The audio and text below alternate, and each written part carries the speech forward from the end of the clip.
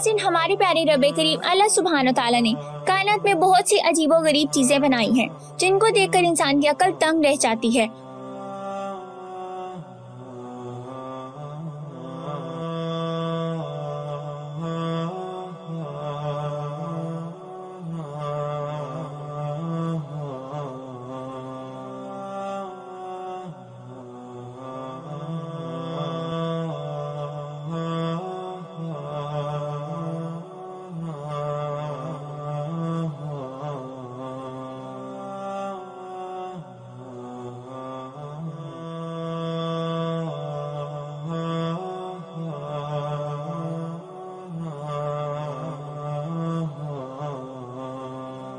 और इसी तरह ही इंसानों ने भी अल्लाह ताला की रजा से कई ऐसी चीज़ें बनाई हैं, जिनको देखकर ये यकीन कर पाना बहुत मुश्किल है कि ये इंसानों के हाथों के बने हुए अजूबे हैं।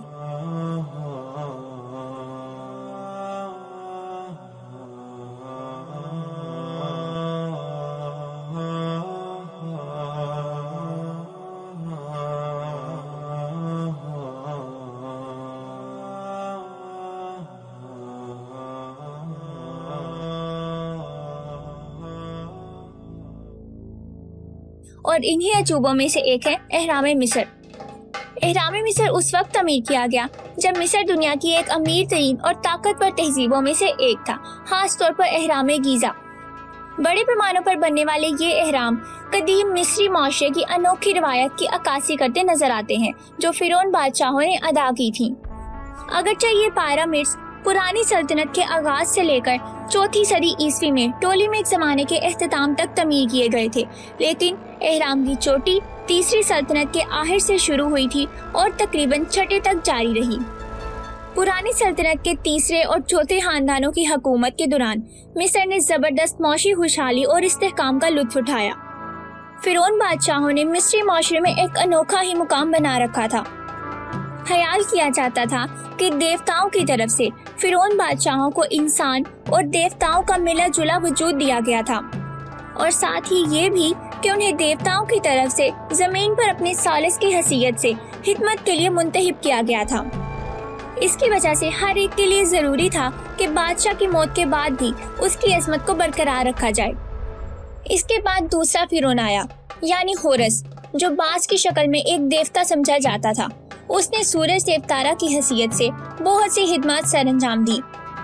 क्या आप जानते हैं कि एहराम के हमवार जाविये, जो कि सूरज की किरणों की अलामत है, और इसको बादशाहों की रूहों को जन्नत में जाने, देवताओं से मिलने और खास तौर पर सूरज देवतारा की हिदमत में पेश होने के लिए डिज़ाइन किया गया था। कदीम मिस्री यही यकीन रखते थे कि जब बादशाह मर जाता है तो इसकी रूह का एक हिस्सा, जिसे का कहा जाता था उसके जिस्म के साथ रहना चाहिए। इसकी रूह की देखभाल के लिए लाश को महफूज रखना ज़रूरी समझा जाता था तो उन्होंने बादशाहों की लाशों को ममीफाइड करना शुरू कर दिया। इसके साथ वो लोग बादशाहों की चीज़ों को भी दफन कर देते थे, जिसमें सोने के बर्तन, खाना और फर्नीचर वगैरह शामिल था। 2950 कबल मसीह में शाही मकबरों को चट्टान में नक्श किया जाता था। हमवार मुस्ततील साहत वाली ये छत जिसे मुस्तबास कहा जाता था, एहरामों का पेश हैमा थी। मिस्र में सबसे कदीम एहराम 2630 कबल मसीह के करीब शाही खानदान के बादशाह जोजर के लिए तामीर किया गया था, जो अब स्टेप पारामिड के नाम से जाना जाता है। अब अगर एहराम के ममार के बारे में बात की जाए, जिसका नाम इमहोटप था, जो एक पुजारी होने के साथ साथ एक हकीम भी था, इमहोटप को मुसनफों पादरियों और मुआलिजों का सरपरस्त समझा जाता था। जोसर के 20 साल दौरे हुकूमत के दौरान एहराम के ममारों ने पत्थरों के छह स्टेप्स को तश्कील दिया, जो बिलाहर बासठ मीटर की ऊंचाई को पहुँच गए। ये उस वक्त की सबसे ऊँची इमारत थी। स्टेप पैरामिड को इसके आसपास के पेचीदा सहनों, मंदिरों और मिजारों ने घेर रखा था, जहाँ जोसर अपनी बात की ज़िंदगी से लुत्फानंदोज हो सकता था।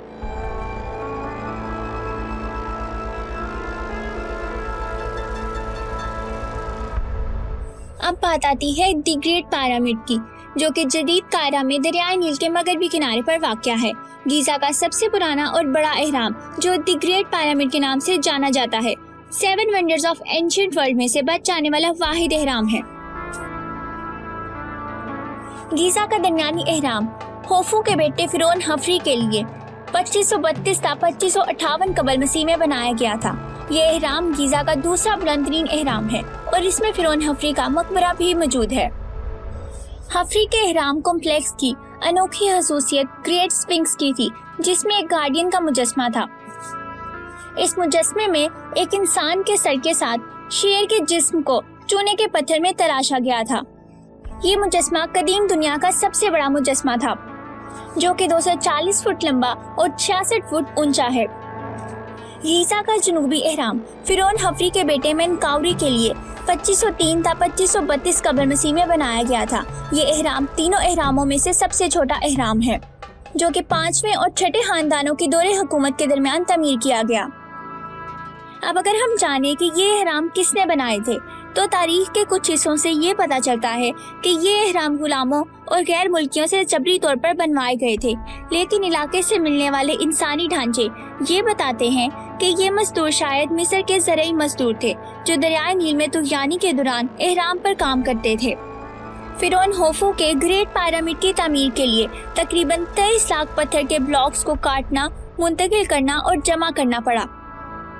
और औसतन एक ब्लॉक ढाई टन का था। कदीम यूनानी मौरख हिरोडोटस ने लिखा है कि इसकी तमीर में 20 साल लगे और तकरीबन एक लाख मजदूरों की ज़रूरत पड़ी। लेकिन सारे कदीमा से मिलने वाले शवाहिद से ये पता चलता है कि मुमकिन तौर पर मजदूरों की तादाद बीस हज़ार के लगभग रही होगी। पांचवी और छठी सल्तनतों के दौरान एहराम तमीर होते ही चले गए। लेकिन बादशाहों की ताकत और दौलत में कमी के साथ साथ ही इन एहरामों की तमीर और मैार में भी कमी वाक़ हुई। पुरानी बादशाह के एहराम में बादशाह उनास के दौर के आगाज़ से एहराम बनाने वाले ममारों ने तदफीन हाना की दीवार और बादशाह के दौरे हुकूमत में होने वाले वाक़ की तहरीरी किताबें लिखना शुरू कर दी। एहराम इन तहरीरों के नामों से जाना जाता है। ये कदीम मिस्र के मशहूर मजहबी मरकब के तौर पर जाना जाता है। अजीम एहराम बनाने वाले बादशाहों में से आखिरी छठे खानदान का दूसरा बादशाह पेपीटू था। जो एक नौजवान की हैसियत से इकतदार में आया और इसने चौरानवे साल हुकूमत की। इसकी हुक्मरानी के वक्त से कदीम सल्तनत की खुशहाली कम होती जा रही थी और इंतजामिया अहदेदारों की ताकत में इजाफा होने को था और इसके साथ ही फिर ने अपनी असल हैसियत को खो दिया। पेपी टू का एहराम सकरा में है, जो इसने अपने दौरे इकतदार के दौरान तीस साल में मुकम्मल किया, जो कि कदीम एहरामों के मुकाबले में छोटा और एक सौ बहत्तर फुट का था। पेपी की मौत के साथ ही मुमलिकत और मरकजी हुकूमत अमली तौर पर बिखर गई और मिस्र एक हंगामा है इस मरहले में ताहिल हो गया, जिसको फ़र्स्ट इंटरमीडिएट पीरियड कहा जाता है। बाद में बारहवें खानदान के बादशाह मिडल किंगडम के मरहले के दौरान एहराम में वापस आए। कदीम और जदीद दोनों अदवार में डाकुओं और लुटेरों ने मिस्र के एहराम से कदीम लाशें, उनके साथ दफन सामान और साथ ही बैरूनी सामान भी लूट लिया है। हमवार सफ़ेद चूने के पत्थर के हट जाने की वजह से एहराम अब अपनी हकीकी ऊंचाई तक नहीं पहुँच पाते। मिसाल के तौर पर खोफू एहराम की मौजूदा ऊंचाई चार सौ इक्यावन है। बहरहाल, लाखों लोग हर साल इन एहरामों को देखने आते हैं, जो इनकी शानदार अजमत और मिस्र के भरपूर और शानदार माजी का अक्स है।